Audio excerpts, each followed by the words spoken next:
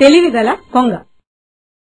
ఒక చెరువు ఒడ్డున ఒక మర్రి చెట్టుంది. ఆ చెట్టు కొమ్మన కొన్ని కొంగలు తమ గూళ్ళు కట్టుకుని నివసించేవి.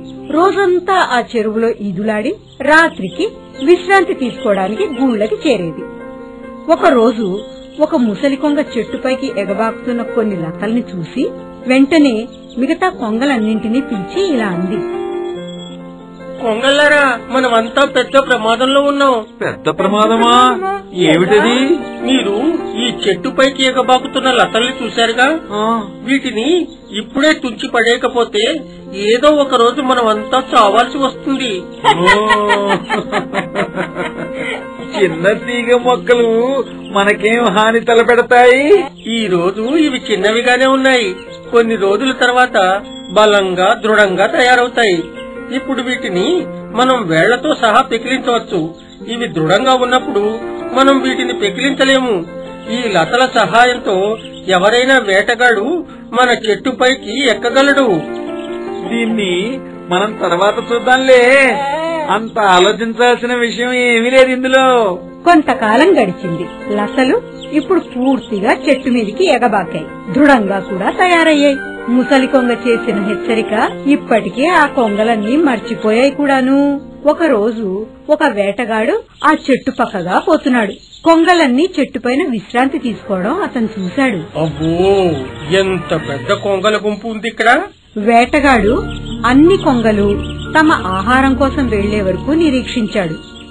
అవి అటు వెళ్ళగానే తన వల తీసుకుని లతల సహాయంతో పైకెక్కాడు.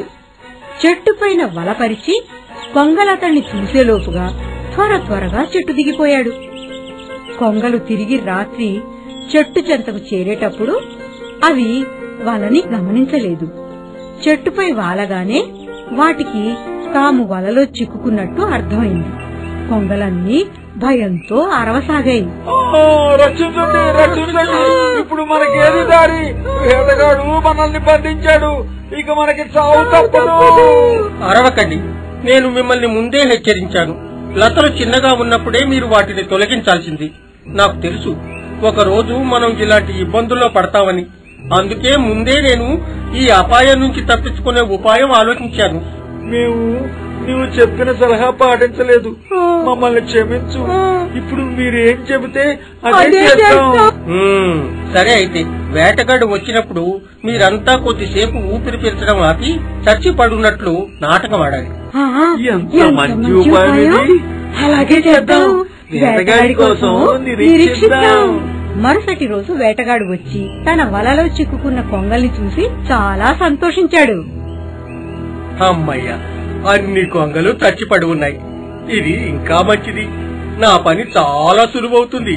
వీటన్నిటినీ గోని సంచిలో వేసుకుని బజారుకు తీసుకుపోయి అమ్ముతారు వేటగాడు ఒక్కొక్క కొంగని వల నుంచి తీసి నేలపై పడేస్తూ పోయాడు. కొంగలన్నీ నేల మీద అలాగే పడున్నాయి. చివరి కొంగని వేటగాడు నేలపై విసరగానే ముసలి కొంగ సైగతో అవన్నీ రెక్కలు విచ్చుకుని అత్యంత వేగంగా ఎగిరిపోయాయి. మనకంటే పెద్దవారు అనుభవంతో చెప్పే మాటల్ని మనం పాటించాలి అని ఈ కథ ద్వారా మనం తెలుసుకోవాలి.